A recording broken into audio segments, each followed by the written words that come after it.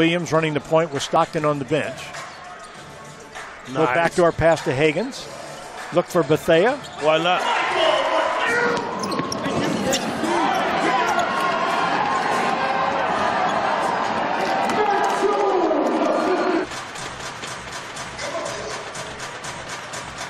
Hagins looking for an opening. Nice. Oh, look at the Davis. Aaron Harrison in for the first time. He's the leading scorer on this Bighorn team, but a 19 a ball game. And that one wasn't pretty, but it doesn't matter as long as it goes in. Hagins fakes right, goes left, little jump step underneath to Demps. Nice play in traffic. Demps got hit, but still got the ball up. Fade away, tipped out front, and Hagins on the run with a two on one break with Reggie Hearn. Looking for Davis. Davis gets it knocked away behind. Look at Hagins race to get it. Hearn with a three attempt.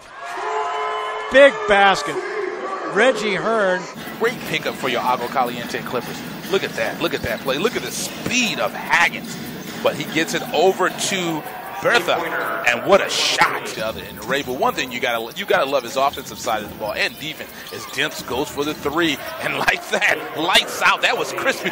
No rim, all net.